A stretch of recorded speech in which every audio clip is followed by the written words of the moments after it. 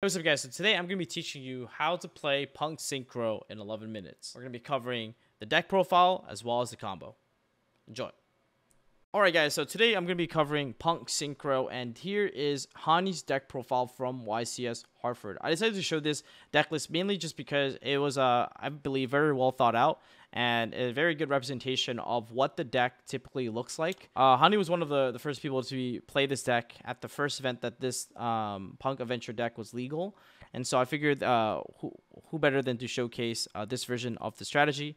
Uh, there's also important to note that there is a second version of this deck where it plays Yazi um, and Herald.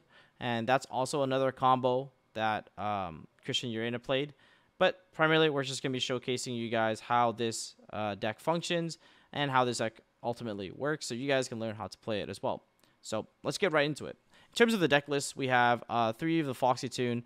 Um, just to delve a little bit deeper into uh, what the deck profile didn't really cover, um, the Foxy Tune is a card that allows you to get access to more level 3s than normal.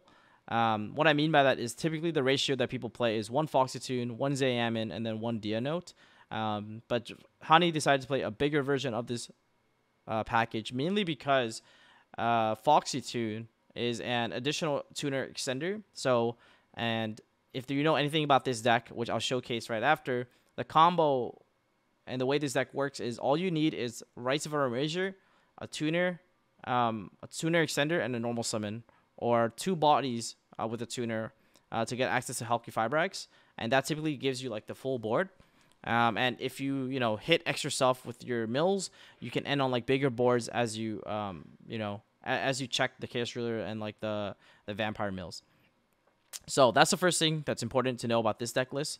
Uh, the second uh, component of this deck is that he decides to play Sangan uh, as his normal summon, and the main reason he chose this is because of the fact that it it's a level three monster that can pair really well into Cherubini and it's also a normal summonable monster that gives you access to uh, a tuner extender in the form of Arborea. Uh, this monster can summon itself from the hand to a zone that a link monster points to. That effect does not activate. Um, it's pretty much just happens. Um, or it's a uh, it's basically quote unquote an inherent summon, which just doesn't start a chain. It just summons itself onto the board immediately, and that allows you to basically turn Sanga into a one card Halqifibrax, which helps you meet the condition for rights plus um, one card Halqifibrax or a way to Halqifibrax to end on like the, the board, which is typically a Baronne plus uh, Fiber Dagda to Scythe your opponent, right? That's typically the game plan of the deck. Um, the win condition, which we should clearly identify, is uh, Artifact Scythe. Uh, locking your opponent out of the extra deck, while also um, has other alternate win conditions um, in form of like its extra deck, such as you know access code and Apollousa. Um, you also just have like a bunch of negates that the deck can set up. So even if you don't scythe lock your opponent against like trap decks, you can just set up a bunch of interruptions, and that's also very powerful and very potent. Um, so those are like mainly the the win condition of the decks, either to OTK your opponent with access code, um, uh, or just lock out lock them out of the game completely. Um, and the deck plays a lot of non-engine slots, as you can see here, almost about like 14, um, 13 if you don't include driver, uh, which probably you probably shouldn't, but it's about like 13 non-engine slots, which uh, gives you a very high percentage to open uh, two non-engine. Uh, typically, like the the higher amount of non-engine slots is dictated by like just how powerful the decks are in the format, and basically your goal of like essentially stopping them. The other important thing that you should note about this deck list is that he decides to play Gamma. The main reason for playing Gamma in this in this deck is mainly because you have a lot of ways to like bait your opponent um, Ash Blossom. So you have like teleports, you have uh, Water Enchantress, uh, you have Foxy Tune. So basically like uh, Foolish Burial. So multiple multiple ways to bait your opponent's Ash Blossom. Uh, bait your opponent's like Droll. If you know you go like Enchantress effect, they Droll you. And that allows you to basically gamma your opponent, which makes your opponent go super minus because gamma by itself is um, on your own turn, a way to Halqifibrax by itself. It also just makes a Chaos Driller. It's just a very powerful card um, in general. And now we'll look into the extra deck. So you'll see that he decides to play Almirage, uh, Cherubini. Almirage is a really good way to convert a Sangan um, into a one card fiber. Uh, you play Cherubini because, um, first of all, it it has a really cool protection effect that people forget about, which is monsters this card points to cannot be destroyed by card effects.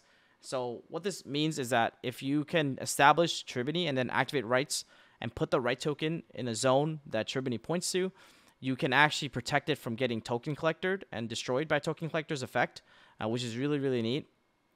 Uh, you have Dagda, obviously, to get access to your Scythe Lock. Halqifibrax to uh, enable like the Red Rose combo.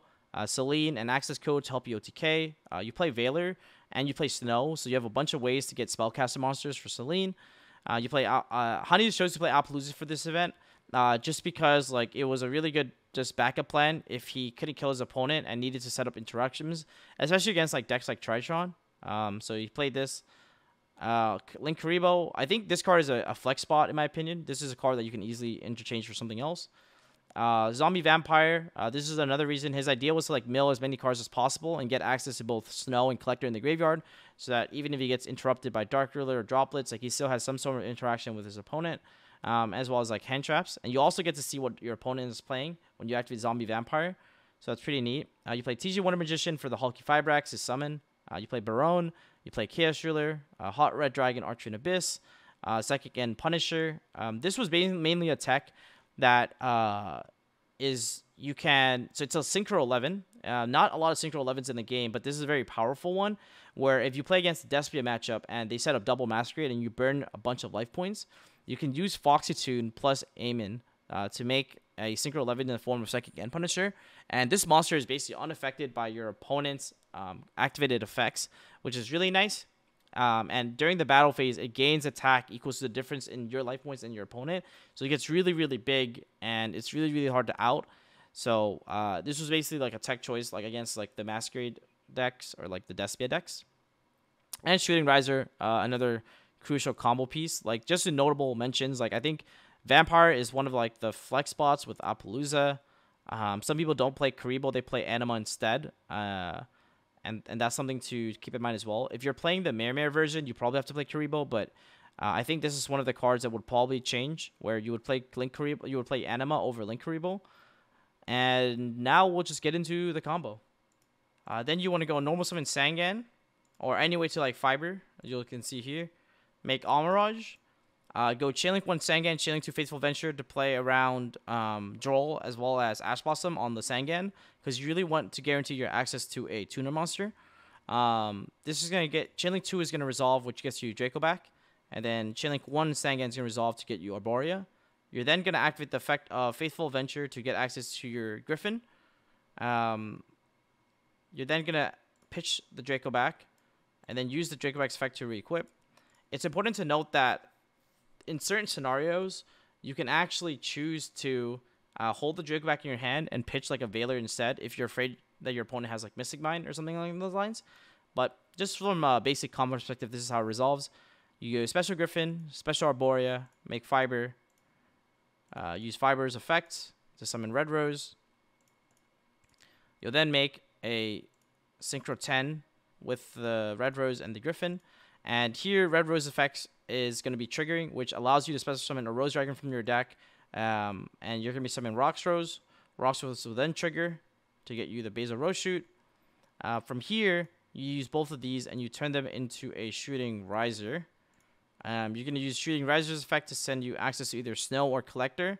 Uh, depending on, like, uh, if you know your opponent's playing Sword Soul, you would send Collector. Game 1 Blind, you would just send Snow activate Basil Rose Shoot to bring back another Rose Dragon, and then here you use both of these to make Dagda. Now you're going to be passing to your opponent's turn, and in terms of interruptions, uh, in main phase 1, you can go Halqifibrax effect, chain the Dagda, set Artifact Scythe, and then go Chainlink 1 Wonder Magician to pop the Scythe. It destroys itself, activate Scythe effect to bring itself back, Activate Scythe, now you've Scythe locked your opponent.